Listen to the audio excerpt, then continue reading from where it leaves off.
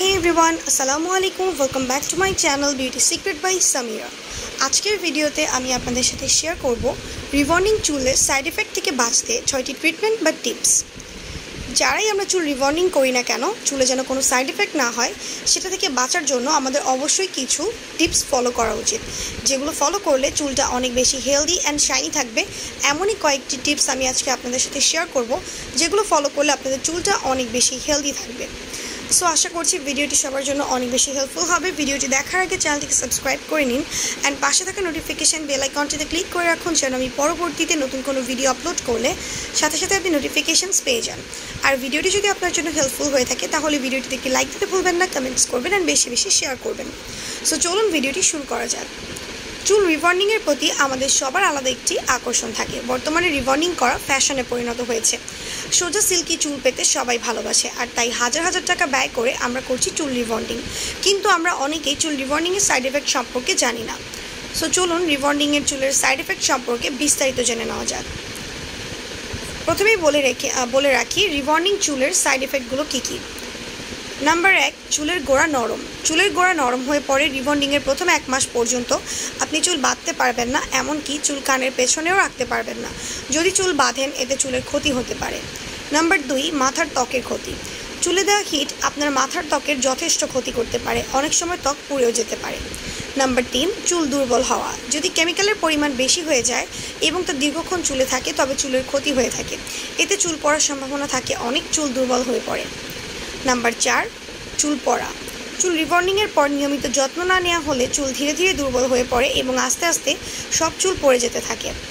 তাছাড়া আপনি যদি ভালো পার্লার থেকে চুল রিবন্ডিং না করান, তাতেও আপনার ঝুঁকি থাকতে পারে। কারণ ভালো মানের পার্লার না হলে তাদের প্রোডাক্ট সম্পর্কে যথেষ্ট সন্দেহ থাকে। সো এখন আসি রিবর্নিং চুলের সাইড এফেক্ট থেকে বাঁচতে ট্রিটমেন্ট রিবর্নিংয়ের সাইড এফেক্ট শুনে ভয় পাওয়ার কারণ নেই। নিয়মিত যত্ন নিলে আপনার রিবর্নিং চুল করে তুলতে পারেন আরও সুন্দর ও সুস্থ। আগের চেয়ে অনেক বেশি যত্ন নিতে হয় রিবর্নিং চুলের। পার্লারের পরামর্শ নিলে ভালো। আপনার হেয়ার স্টাইলিস্ট যতদিন না আপনাকে চুল বাঁধার অনুমতি দেয়, ততদিন চুল না বাঁধাই ভালো। সো আপনাদের সুবিধার্থে কিছু টিপস দেওয়া হলো। নাম্বার এক, চুল ধুতে ঠান্ডা পানি। গরম পানি দিয়ে কখনো চুল ধুবেন না, এমনকি কুসুম গরম পানিও ব্যবহার করবেন না চুল ধোয়ার জন্য। সবসময় ঠান্ডা পানি দিয়ে আপনার চুল ধুতে হবে রিবন্ডিংয়ের পর এবং নিয়মিত শ্যাম্পু করবেন। এমন শ্যাম্পু ব্যবহার করবেন যেটা স্ট্রেট চুলের জন্য প্রযোজ্য। আপনি চাইলে আপনার পছন্দ মতো একটা মাইল্ড শ্যাম্পু ইউজ করতে পারেন। নাম্বার দুই কন্ডিশনার ব্যবহার। রিবন্ডিং চুলের জন্য কন্ডিশনার খুব দরকারি।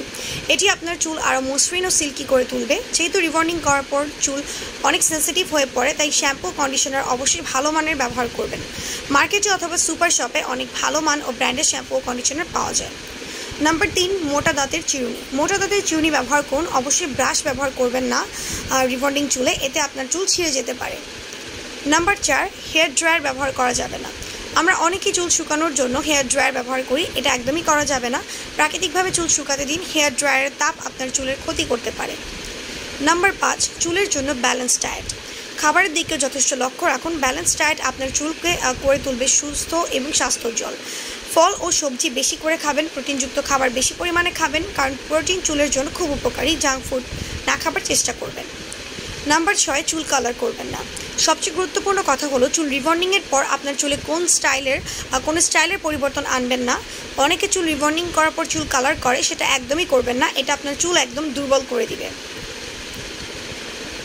রিবর্নিং করা করা চুলের যত্নে কিছু প্যাক এখন আমি আপনাদের সাথে শেয়ার করব।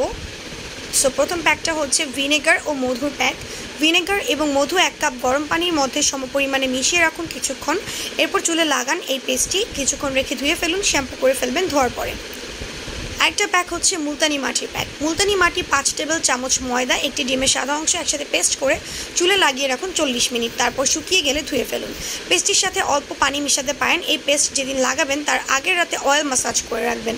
প্যাক লাগানোর পূর্বে আপনার চুল মোটা দাঁতের চিরুনি দিয়ে দুই থেকে তিনবার ভালো মতো আছড়ে নিন। যখন প্যাক লাগাবেন তখনও বারবার চুল আছড়াতে থাকুন।